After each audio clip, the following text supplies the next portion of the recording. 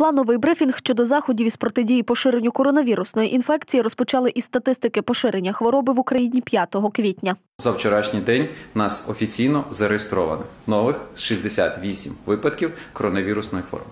Всього е, було розглянуто 373 е, підозри на коронавірусну хворобу. Е,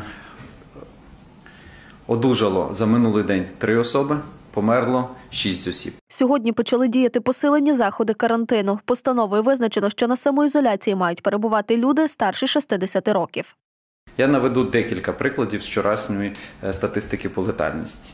Вчора помер чоловік 71 рік, е, чоловік 60 років із серцево-судинними захворюваннями, е, жінка 84 роки з супутньою патологією, чоловік 77 е, років із серцево-судинними захворюваннями.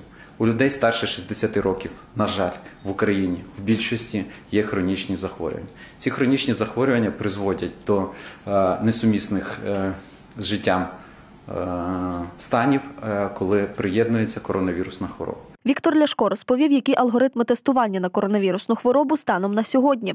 Якщо у вас є певні симптоми, які свідчать про можливість і наявність е, розвитку коронавірусної хвороби, ви повинні зателефонувати до свого сімейного лікаря. Сімейний лікар це тільки, е, тільки лікар може поставити діагноз, і тільки лікар може прийняти подальше рішення, що робити хворому і які його подальші дії. В більшості випадків е, лікар е, сам зателефонує до мобільної бригади і направить мобільну бригаду для забору зразків. е, Для того щоб в подальшому продіагностувати і встановити коронавірусну хворобу. Якщо ж у вас немає підписаної угоди із сімейним лікарем, необхідно у разі виявлення симптомів хвороби телефонувати за номером швидкої допомоги 103. Після цього, коли відбираються зразки, приймається клінічне певне рішення або хворого госпіталізують до стаціонару, або хворий продовжує е, залишатися вдома під медичним спостереженням лікуючого лікаря.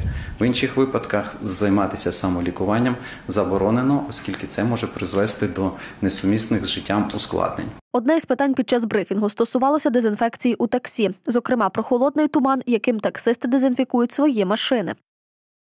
Ми рекомендуємо використовувати тільки ті е, засоби і, і методи дезінфекції, як поточної, так і заключної, які використовують е, зареєстровані в, в Україні дезінфікуючі засоби. Як в разі, якщо е, в холодному тумані є використовуються засоби для дезінфекції, які внесені до реєстру дезінфікуючих засобів, е, їх можна використовувати для дезінфекції автомобілів, приміщень, поверхонь і інших е, матеріалів. Також пояснили, як відбувається процедура поховання людини померлої від коронавірусу. Наших сьогоднішній день рекомендаціях прописано, що в разі е, значного виділення фізіологічних рідин з тіла померлої людини вона повинна бути е, вкладена в герметичний е, мішок. Після цього кладеться в турну, і всі, хто контактує з тілом хворої е, померлої людини, повинні бути одягнуті в засоби індивідуального захисту. В першу чергу це водонепрониклі е, ізоляційні халати, рукавички. В подальшому, якщо є можливість утворення бризг і аерозолю, кожен повинен мати, хто контактує з тілом, захисний щиток або окуляри і е, засоби захисту органів дихання. Це респіратори з класом захисту не нижче FFP2. В Україні фіксують найнижчий рівень тестування у Європі 115 осіб на 1 мільйон населення. Тож чому у нас не проводять тотальне тестування ПЛР-тестами населення?